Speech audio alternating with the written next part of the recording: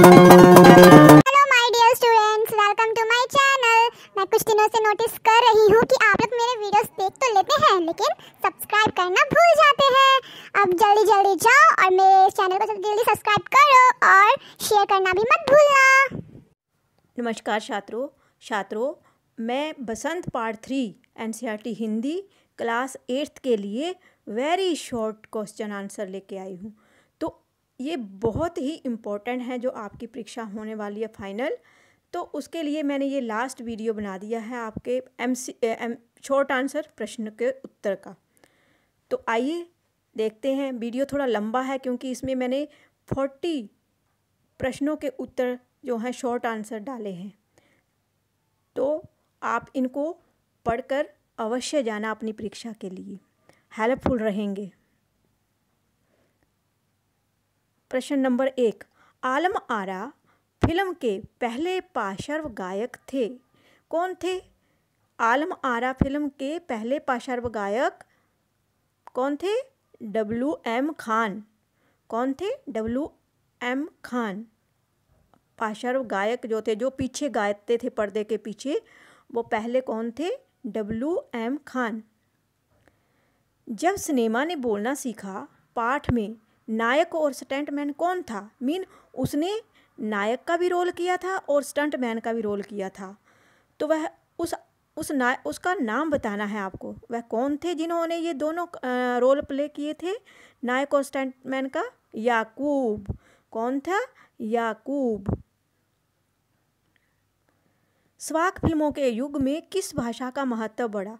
जब स्वाक फ़िल्में थी, मीन वाक्य वाली, बोलने वाली जो फ़िल्में होती हैं स्वाक फ़िल्में, कि जब शुरू हुई थी तो उसमें किस भाषा का महत्व बहुत बढ़ गया था? किस भाषा को महत्व दिया जाता था? कौन कौन सी को दिया जाता था? हिंदी और उर्दू भाषा को अधिक महत्व दिया जाता था जब फ़िल्म, स्वाक फ़िल्मों की शुरुआत हुई। नायक के रूप में सबसे पहले किसका चयन हुआ था? सबसे पहले कौन नायक चुना गया था?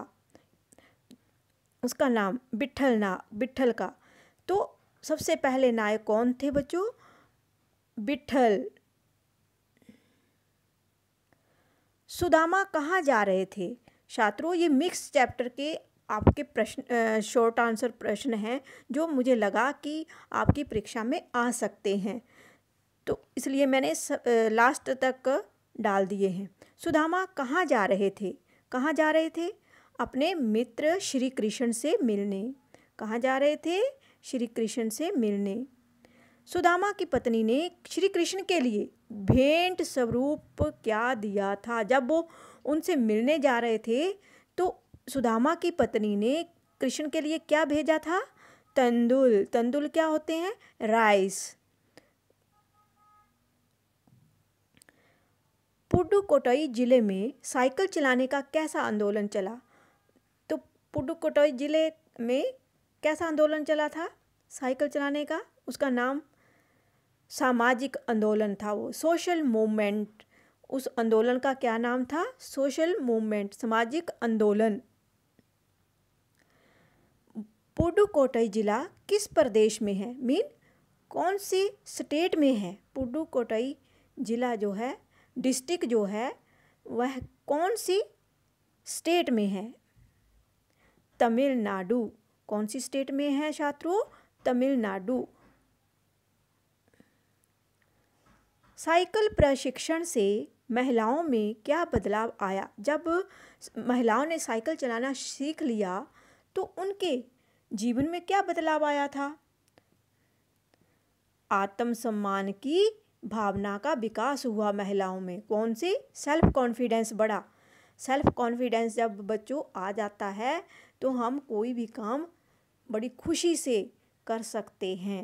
तो अपना सेल्फ कॉन्फिडेंस आत्मसम्मान जो होता है, आत्मसम्मान की भावना मीन सेल्फ रिस्पेक्ट तो उसका भी विकास, उसका विकास होने से हमारे अंदर जो है किसी भी काम करने की शक्ति उत्पन्न हो जाती है ऑटोमेटिक ही। जब आत्मसम्मान की बात आती है तो।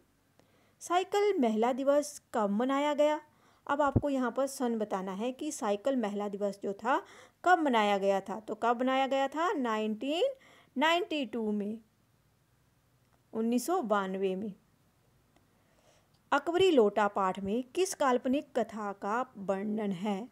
मीन एक काल्पनिक कथा है, उसमें अकबरी लोटा पाठ में तो उस कथा का नाम बताना है। उस कथा का नाम है छात्रों जहांगीर अंडा, जहांगीरी अंडा और अकबरी लोटा। दो दो दो कहा, काल्पनिक कथाएँ जो हैं साथ साथ चल रही हैं उस कहानी में। अकबरी लोटा पाने के लिए अंग्रेज़ ने कितना मूल्य चुकाया? याद है आपको कुछ कि अकबरी लोटा पाने के लिए कितना मूल्य दिया था उसने? फाइव हंड्रेड मीन पाँच सौ रुपये फाइव हंड्रेड रुपीज़ में चार पाँच सौ रुपये दिए थे अंग्रेज़ ने। मेजर डगलस भारत में से कौन सी वस्तु लेकर गए थे? अब मेजर डगलस, वो उसने पुरानी बात बता दी ना कि मेजर डगलस जो थे भारत में आए थे तो उन, उन्होंने कौन सी वस्तु लेकर गए थे? जहांगीरी अंडा। जाओलाल ने अपनी पत्नी को रुपए देने में कितने दिन लगा का समय लगा दिया?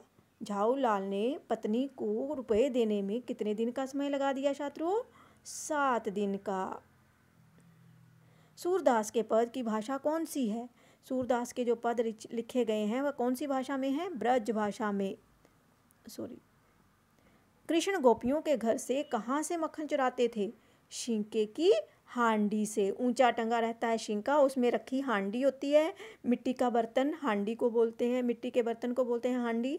आप लोगों ने सभी ने देखी होगी तो उसमें उसमें से चुराते थे।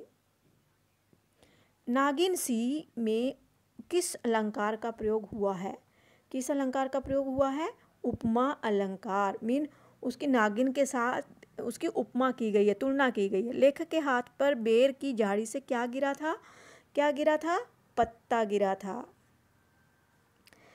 पृथ्वी के भीतर खोखले स्थान तक पहुँचने में बूंद को कितनी दूर चलना पड़ा? कितनी दूर चलना पड़ा था? एक मील दूर। पिंड किसकी ओर तेज़ी से बढ़ रहा था? सूर्य की ओर। बूंद तीन दिन तक कहाँ सांसद भोगती रही? मैंने दुख भोगती रही पेड़ की पत्तियों पर। क्रोध और घृणा से किसका शरीर काँप उठा? बूंद का। बूंद की कथा सुनकर लेखक ने क्या कहा? मेरे पास तुम सुरक्षित हो, मीन सेफ़ हो। ओस कहाँ से आई थी? बेर के पेड़ में से। सांप की गुफा कैसी थी? सांप की गुफा कैसी थी छात्रों? अंधेरी थी। चतुर कौन था? चतुर कौन है? चतुर वही है जो प्राणों की बाजी लगाकर ज़िंदगी के हर खतरे का बहादुरी से सामना करे। सांप ने क्या सुना? उसने सुना कि लहरों को गीत गाते हुए सुना। क्या सुना था सांप ने? लहरें लहरें जो हैं, वह गीत गा रही हैं। साहसी लोग कहकर किसकी तरफ़ इशारा किया? साहसी लोग ऐसा कहा है, कौन साहसी है? किसकी तरफ़ इशारा किया था?